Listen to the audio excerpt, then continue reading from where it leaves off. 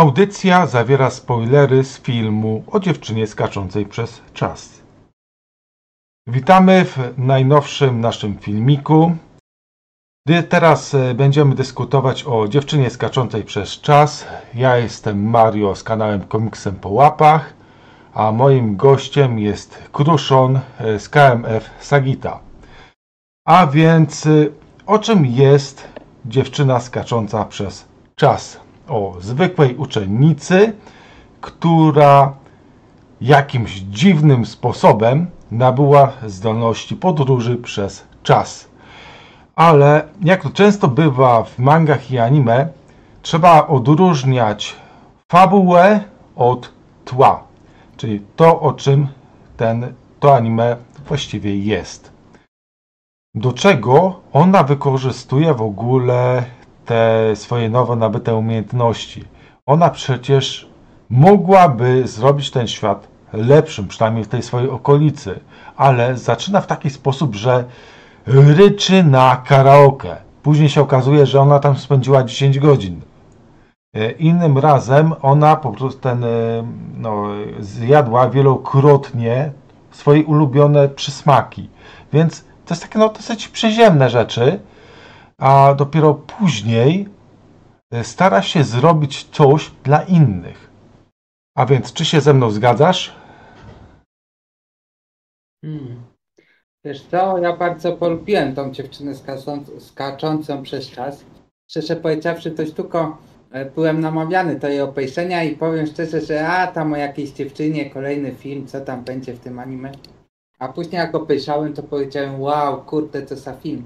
I szczerze powiedziawszy, uważam, e, że to jest jeden z lepszych anime. I to jest anime, już tutaj powiem kto to powinien zacząć, który po prostu nastolatkowie powinni obejrzeć, bo to jest wielowątkowa powieść, e, opowieść fantastyczno-naukowa, ale z takim e, aspektem, że dla młodych ludzi, że ja ci powiem, że właśnie to jest fajne, bo to nie po, to właśnie to samo co ten chłopak, y, podejście takie mm, y, młodzieżowe, że oni się nie przejmują decyzjami swoimi, że oni chcą się żyć, że chcą się bawić i że chcą miło spędzać czas.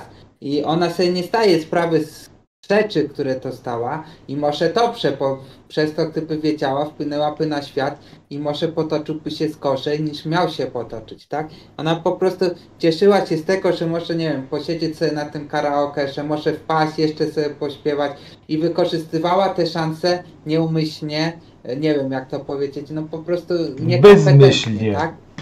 Bezmyślnie, Bezmyślnie nie czarujmy się. No i właśnie i właśnie te, dlatego ten film jest o straconych szansach. No, że wiesz, że gdyby wystarczyłoby, że jeden raz nie zaśpiewała na karaoke, a wróciła i powiedziała temu chłopakowi, że chce z nim być, no nie? No to fabuła by była kompletnie inna, nawet jakby tylko mieli chwilę dla siebie. No to jest, no, ta bezmyślność towarzyszy takiemu młodzieńczemu wiekowi. I ta bezmyślność ma też wpływ na decyzje, które wtedy młodzi pod, po, po, po, po, podejmują. tak? Ale nie tylko, bo ludzie dorośli też są często bardzo bezmyślni, też często nie myślą o swoich e, konsekwencjach decyzji, które podejmują. I to nie jest film tylko dla nastolatków, tylko dla wszystkich, żeby wiedzieli o tym, że czas nie czeka, że, e, e, że nie da się cofnąć czasu, że nie mamy takich technologii, a nawet jeżeli byśmy mieli to przez naszą bezmyślność, może byśmy byli bardziej smutni, no nie? Też ciekawe, jakby się potoczyło, gdyby ona w ogóle się nie mogła cofać w tym czasie, tak? Gdyby nie mogła go spędzać inaczej. I gdyby nie uwierzyła w tą bo też tam jest taki moment, że ona uwierzyła, że ona już tak zawsze będzie mogła być, no nie? Więc, no. y, więc to jest bardzo wielofątkowa opowieść taka i nie tylko dla nastolatków, ale dla dorosłych, bo każdy sobie może przypomnieć jak nastolatkiem był i, i, i, i, i o swoich decyzjach, tak? No to bardzo wielofątkowa powieść i bardzo ciekawa. Tam jest taki tekst, nie wiem czy pamiętasz jak ona wchodzi do tej tablicy. Na tablicy był tekst i on, jeśli dobrze pamiętam, to on brzmiał E, jak to było? Że żyje się tylko raz. Nie, coś takiego. Nie, nie, nie, nie. Inaczej to było. tam jest ten tekst, nawiązuje do samego końca książki, e, do samego e, końca anime. I ten tekst nawiązuje do tego, że czas nie czeka, jeżeli to przepamiętam. To było coś w tym stylu, że czas nie czeka. No, no tak, czas nie czeka i w ogóle zwróćmy uwagę na sam początek filmu. Przecież oni grają w baseball. Ale czy to ma czemuś służyć? Nie, oni sobie po prostu odbijają kij, w innym e, tam momencie sobie rzucają piłkę, to niczemu nie służy. A jak jest naokoło? To są nastolatkowie. E, tak. Oni, oni po prostu spędzają ze sobą czas, jak nastolatkowie. To ludzie już dorośli, po prostu zapiekani koniom za kolejnymi rzeczami. A nastolatkowie na, y, spędzają sobie czas miło, nie wiem, siedząc sobie gdzieś albo grając w piłkę i oni inaczej to odpierają. I to jest normalne zachowanie nastolatków, że spędzają ze sobą miło czas, no nie? To właśnie ważnym punktem jest ten czas, który się po prostu przejawia później w każdym momencie tej, e, te, te, te, tego filmu. No właśnie zauważyłeś to z naszej perspektywy, ale spójrzmy z perspektywy japońskiej. E, tam jest wszystkie te osoby naokoło, ci uczniowie, oni są wszyscy tam w różnych klubach. Jedni tam grają w koszykówkę, inni tam e, no, robią coś innego. I tam jest e, klub, który e, ćwiczy się w biegach. To wszystko mają tam pomóc coś tam w przyszłości. I oni tam nie tracą czasu, a nasza trójka bohaterów, no z tej perspektywy jak najbardziej. I e, przecież kwa, sama kwestia tego budzika, no e, tam ona ma sen, że spada jej z góry ten budzik. Okazuje się, że ona spóźniła, zaspała i spóźniła się do szkoły. Ona stale traci czas.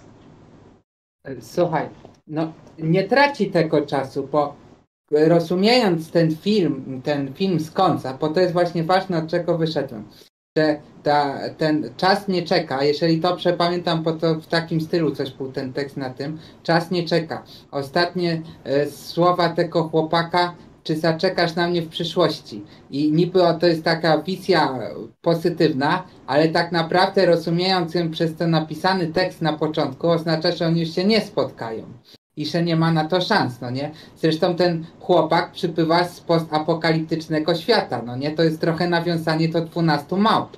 W 12 małpach też jest podróżnik w czasie, który cofa się do przeszłości, żeby zatrzymać epidemię, no nie? A słuchaj, o co im chodzi? On chce zobaczyć pewien konkretny obraz, który w jego czasach już nie istnieje. Czy tam faktycznie jakaś apokalipsa się przez kraj przetoczyła, a może i przez świat. A yy, przecież on jej, y, znaczy ta ciotka, przecież ona się tym obrazem opiekuje. I e, tutaj taki znowu spoiler, on jest w mandze, a nie w anime. Na samym końcu ta ciotka pokazuje, że ona też ma ten e, ślad na ręce, ona ma jedynkę. Ona doskonale wie, co się dzieje. Ona już to, to zgryzła i dlatego nie śmieje się z e, tej młodej dziewczyny, której przydarzyło się coś dziwnego. Jak ona już dostała tą e, moc, no co ona z tym robi? E, mam, jest to powiedzonko ze Spidermana, z wielką mocą wiąże się wielka odpowiedzialność. A jak mamy tutaj? Z wielką mocą jest zero odpowiedzialności, bo ona zawsze może się cofnąć, żeby to naprawić.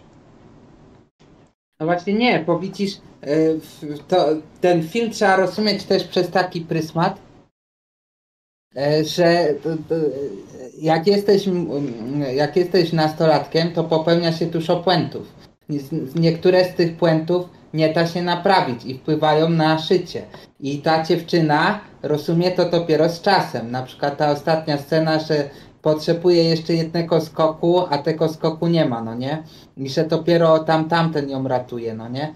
To jest, y, kurczę, to jest tak, właśnie dlatego to jest dla nastolatków, bo y, że decyzje czasami młodych ludzi y, są tak nieodwracalne i o tym jest ten film, że chociaż ona ma tą możliwość cofania się w czasie, to z każdym kolejnym cofnięciem popełnia błędy, które później chciałaby naprawić, no nie?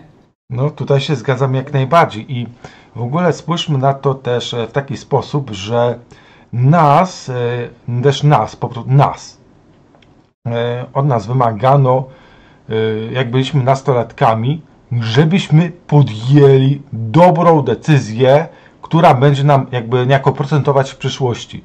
Ale przecież skąd my mieliśmy wiedzieć, że ta decyzja będzie w przyszłości dobra?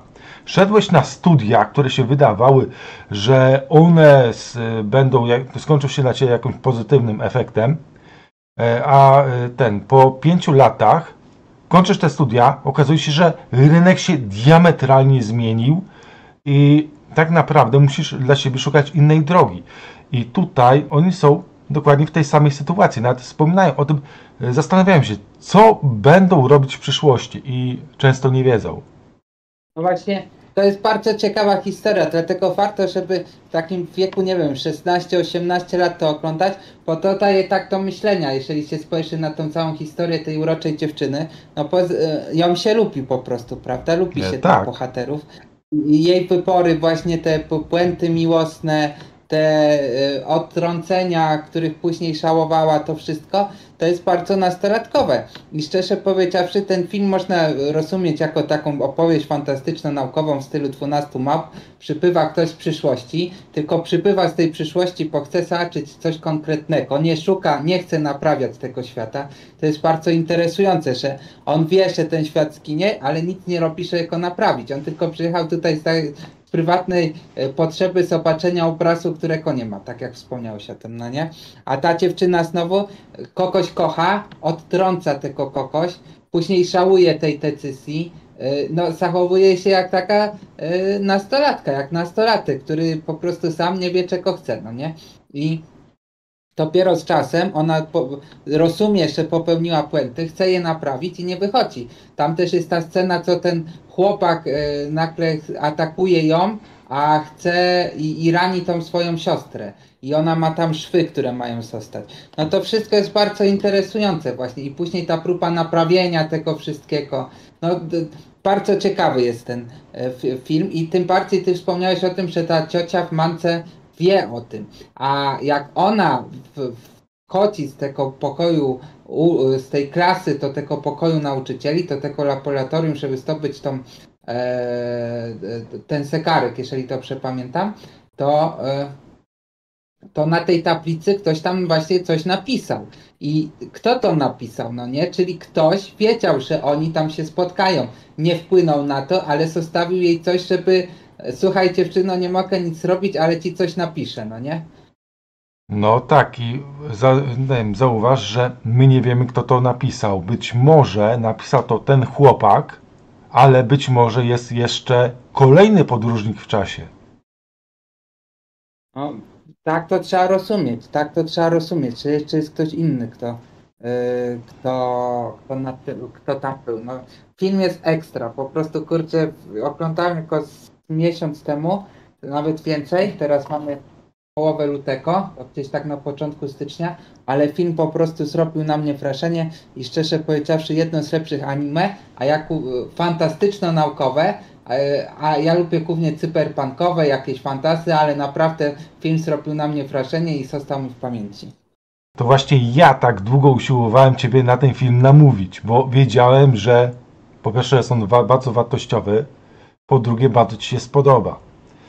I no co to jest za świat? To jest nasz świat obecny. No może te parę lat wcześniej, bo no, tam nie ma smartfonów, ale są inne typy komórek, więc yy, można go odbierać bardzo współcześnie. Ale jeszcze warto też się zastanowić nad yy, tym kolesiem, którego stale widzimy z tą gaśnicą. Wiesz o którym, o kim mowa no on jest dręczony w szkole. E, w końcu postanawia się zemścić, ale w jaki sposób on się mści? No, tą gaśnicą e, to on e, smaga tych swoich dręczycieli.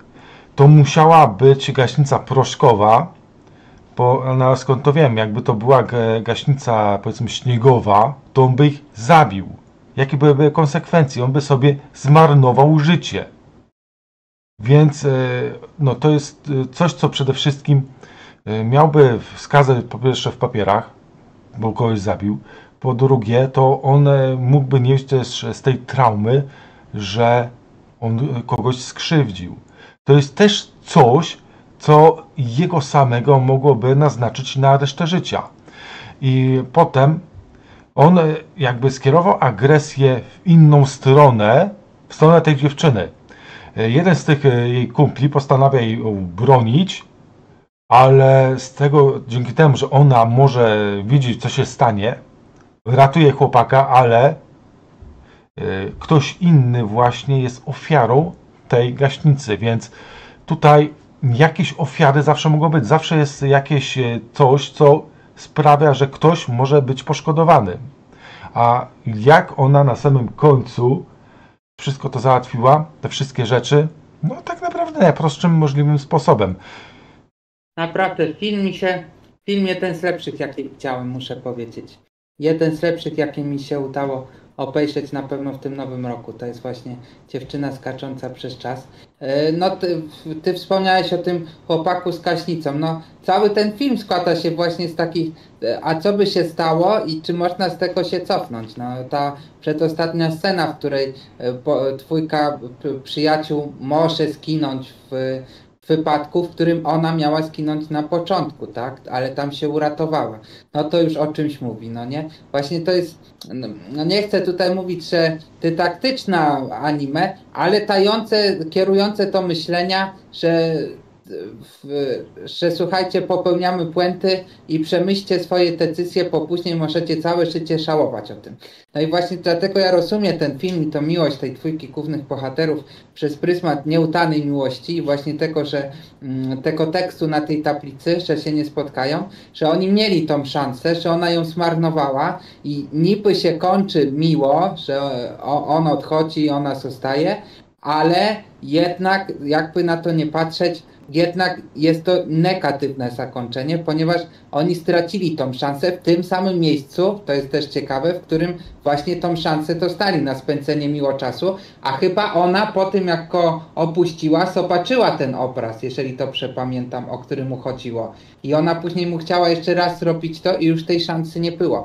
Więc to jest film o zmarnowanych szansach, pokazany w sposób fantastyczno-naukowy, e, z happy endem można powiedzieć, ale smutnym happy endem. I tak to bym właśnie, że były szanse, nie wykorzystaliście ich i chociaż ona się może cofać w czasie, to i tak ich nie może już naprawić. To też jest ciekawe. No nie wiem, tak mi się wydaje. Film jest bardzo ekstra i ja go strasznie polecam e, młodym osobom do obejrzenia, bo naprawdę może, e, może, może ktoś akurat kogoś nie odrzuci, czy e, nie, nie, nie wpadnie na jakiś kupi pomysł i nie zrobi komuś krzywdy, i której później na przykład nie będzie można żałować. Można to rozumieć przez sposób dydaktyczny ten film, ale to jest ekstra opowieść dla młodych, dla starych, dla ludzi po prostu, którzy, którzy jakby to powiedzieć, chcą, mogą sobie przemyśleć swoją młodość, swoje życie i może też ich to przestrzec przed czymś. Słuchaj, mogę czegoś żałować, może czegoś nie zrobię, no nie? Tak jakbym to rozumiał. No tak, przecież e, my e, też mamy coś, chyba każdy ma coś, czego żałuje, myśli sobie, że jakby zrobił coś innego, nie skurzył w pewnym momencie, to jego życie mogło się potoczyć zupełnie inaczej. No i wszyscy mam to w myślach, że na pewno potoczyłoby się lepiej. Ale no. z, jakiej, z jakiej racji w ogóle my to zakładamy? Może za, potoczyłoby się gorzej. Tam była kwestia yy, tej jednej z tych dziewczyn, że on tam, babcia czy dziadek, nie pamiętam, ale yy, ten jeden z tych naszych bohaterów opiekował się, pomagał właśnie tej babci czy dziadkowi i e, jego wnuczka tej osoby tak długo się nasłuchiwała właśnie o tej osobie, że zadłużyła się w wyobrażeniu o tej osobie, a nie samej osobie. No i to jest znowu, ej, marnujesz życie, marząc o osobie, którą co prawda widujesz gdzieś tam, no jest na horyzoncie, ale boisz się do, do tej osoby zbliżyć. To znaczy, który, z tych naszych fantastów czy naukowców powiedział, że nie ma co się zastanawiać nad tym, a co by było gdyby, ale ten film nie rozumiałbym, a co by było gdyby, tylko o podejmowaniu decyzji to jest film. O, o tym, że nie a co by było gdyby, tylko po, po, podejmujemy decyzje, które później wpływają na to, że ten świat wygląda tak, jako jest i nasze życie wygląda tak, jak, jak, jak jest. I ten film tylko tak daje to myślenia, że na, na przykład ta, ta, jak oni idą tym E, jak oni tam tym, mm, e, jak to się nazywa, tym... Tym wałem przy rzece? Tym wałem i on, on, on, on, ona, on chce, ona chce, ale ona właśnie tchurzy.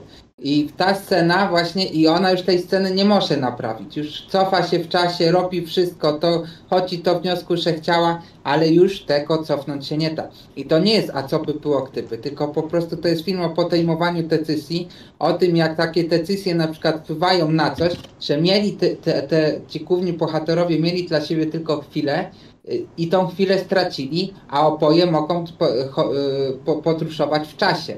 I to daje to myślenia, że już nie mogą tej decyzji z przeszłości od, e, e, naprawić, że nie mogą spędzić miło, nie wiem, dwóch, trzech tygodni ze sobą, no nie? To jest właśnie taki film o, o straconych szansach. Zwłaszcza, że on tam e, mówi w którymś momencie, że on przyleciał tutaj, no przybył, żeby zobaczyć ten obraz, ale ten obraz stale był w renowacji i zaczął się zadawać właśnie z tymi nowymi kolegami, tą dwójką i bardzo ich polubił i nie był w stanie zmieścić tej myśli, że z, nim coś, z nimi coś może się stać i podjął działanie, które mogło się dla niego źle skończyć. Cof, no, chodzi mi o to cofnięcie czasu, e, w którym właśnie ta dwójka zginęła na tym rowerze. Więc tutaj on też musi ponieść jakieś koszty związane z, tym, z tymi swoimi skokami w czasie. W ogóle ta ciotka w którymś momencie też mówi, ona się cieszy, że na szczęście nie zmieniła się nic ważnego. Czyli no, ona też, tutaj no, wracam do tego, że ona rozumie tą sytuację, w jakiej ona jest i rozumie, że jeśli by coś zmieniła, no to ta przyszłość mogłaby wyglądać zupełnie inaczej. Znowu, czy dobrze, czy źle? Nie wiemy. Właśnie nie wiemy i się tego nie dowiemy, ale teraz mi dałeś do myślenia, że ktoś może czuwać nad tą przyszłością, żeby ta przyszłość się wydarzyła taka, jaka jest, tak? Żeby nic na nią, żeby nic na nią nie wpłynęło. No może istnieć coś takiego jak e, Agencja Ochrony Czasu. Pozdrawiam fanów Lokiego. I to jest coś, co e, no, też nie wiem, czy e, my mamy tylko wycinek tej, tego, tej rzeczywistości. Nie wiemy, czy coś tutaj jest jeszcze bardziej. No może on faktycznie popełnił jakieś ciężkie przestępstwo w wyniku samego cofania się czasu, w czasie. No właśnie ciekawa jest właśnie cała historia tego e, uniwersum, ale film bardzo fajny, bardzo taki miły, chociaż moim zdaniem smutny i, i naprawdę wielowątkowy, no i stuprocentowa fantastyka naukowa. Mamy inne uniwersa, mamy podróże w czasie, mamy prawdopodobną postapokalipsę, mamy pytania w, o, o, fizykę, tak, pojawiają się elementy fizyczne, mamy w, w końcu wątek miłosny, wątek taki młodzieżowy, no bardzo fajnie przedstawiona powieść fantastyczno-naukowa. Powiem Ci, że można powiedzieć, że to fajna postapokalipsa. No, Dobra. bardzo fajny film. Mi się bardzo podoba. E, no dobrze, a skupmy się może na wykonaniu. No, muzyka to jest coś super. A jeśli chodzi o te animacje, to przecież ten film jest obsypany nagrodami. Oczywiście w Japonii. Powiem Ci, ja już tak dobrze nie pamiętam. Bardziej pamiętam Ghost in the Shell, czy, yy, czy teraz jak Erko Proxy. Ale w, w film ile ma? 20 lat? Film pochodzi z 2006 roku. No, wyprodukowany przez Madhouse. No i zdobył takie nagrody jak y, Nagroda Japońskiej Akademii Filmowej. Y, nominacja do. Teraz nie odczytam tego, ale to jest e, Nippon e, SF Daisho Awards, jakoś tak. Ten nagroda dla młodych artystów. O, jeszcze kataloński międzynarodowy festiwal filmowy, więc te nagrody były. I ten film naprawdę zasługuje na to, żeby być odświeżony, nas zasługuje na to, żeby być oglądany. Bardzo, powiem Ci ekstra. I zasługuję spokojnie na to. Ja powiem Ci, że się, o, tylko się wahałem, czy to obejrzeć, ale jak obejrzałem, to jestem pod wrażeniem tego filmu. Też dlatego poprosiłem Ciebie, żebyśmy porozmawiali o tej dziewczynie skaczącej przez czas, bo dla mnie stał się bardzo ważnym filmem. Dla mnie też jest ważnym, y, ale no, no wrócę... To ja ci nie powiem. Wiesz, staje mi się, że warstwa muzyczna mi się bardziej podobała w filmach studia Kilpi, które widziałem. E, w tym, w Porco Rosso, w, w Nausika. W, w Szapy w Natarciu, w, na, w Nausice. Bardziej ta warstwa muzyczna mi się podobała w, w tych filmach. W tym filmie pamiętam tą piosenkę, jak sobie skończymy odcinek, to ją sobie przesłucham, żeby sobie przypomnieć, szczerze powiedziawszy, tą endingową piosenkę, ale czy jakoś tak zapadło mi to w pamięci, to tak średnio ci muszę powiedzieć. No, Najbardziej mi fapuła zapadła w pamięci. Fapuła mi zapadła w pamięci, e, fab, no przede wszystkim fapuła. Przede wszystkim fapuła mi zapadła w pamięci. No, jeśli chodzi o fabułę, to tak, mi ona bardzo zapadła w pamięć, no ale e, ten, trochę mniej, jeśli chodzi o muzykę, ale te widoki, te animacje, ten powiedzmy, ten, zwłaszcza jeśli chodzi o te animacje, gdy jest zatrzymany czas.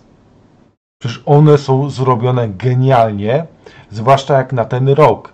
To jest zrobione bosko, więc warto ten film obejrzeć chociażby dla nich, ale same te sekwencje którym e, przekształcają się chmury. Przecież to też wygląda doskonale. Takich scen jest e, tutaj naprawdę dużo.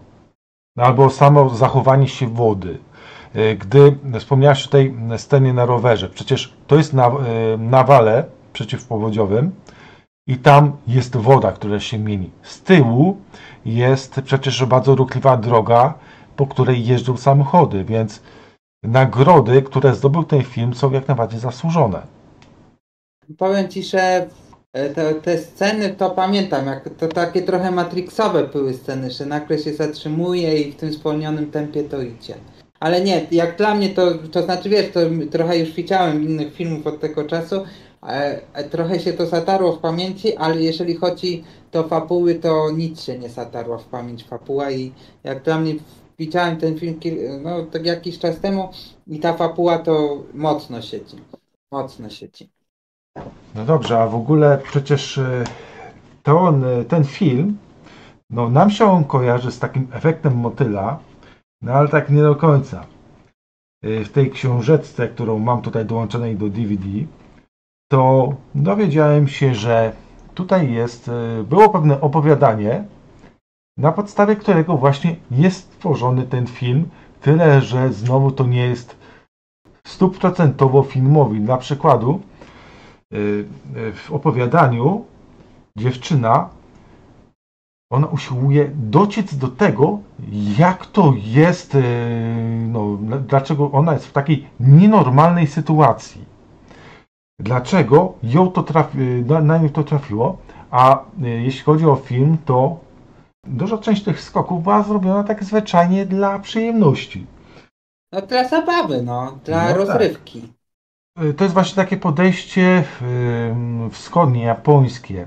Masz się dostosować do tej całej machiny społecznej i masz być tym trybikiem, który jakoś tam działa. U nas to e, ten film był zrobiony tak bardziej, no bądźmy szczerzy, dla bardziej zachodniego widza. E, więc e, to też jest coś, co zwróciło tak moją uwagę. Nie znam tej kultury japońskiej, żeby się tutaj wypowiedzieć. No, film bardzo dla mnie, uniwersalny, nie tylko dla Japończyków, ale i dla Europejczyków, dla każdego po prostu. No, bardzo uniwersalna opowieść. Właśnie taka, taka uniwersalna, to, właśnie to, to świadczy o bardzo, o dobrym kinie, że jest rozumiała w różnych krajach, tak? Można nie znać jakichś niuansów, jakichś e, nawiązań, jakichś, nie wiem, wątków kulturowych, ale rozumiemy historię, no nie? Nie, ale fajne. No, no co tu powiedzieć, kurczę, no oglądajcie, no i ocencie sami. A więc rozumiem, że polecasz i ja oczywiście z całego serca też polecam obejrzeć film o dziewczynie skaczącej przez czas. A więc jeśli podobała się Wam nasza mini recenzja tego tytułu o dziewczynie skaczącej przez czas, to napiszcie nam, co o tym myślicie. Czy Wam też się podobało, czy może jednak nie? A czy Ty jeszcze masz coś do dodania? Nie, polajkujcie kanał, wejdźcie na kmfsakita.pl, obejrzcie fi- recenzję na komiksem po łapach, no i co? I do zobaczenia w kolejnych recenzjach. No to cześć!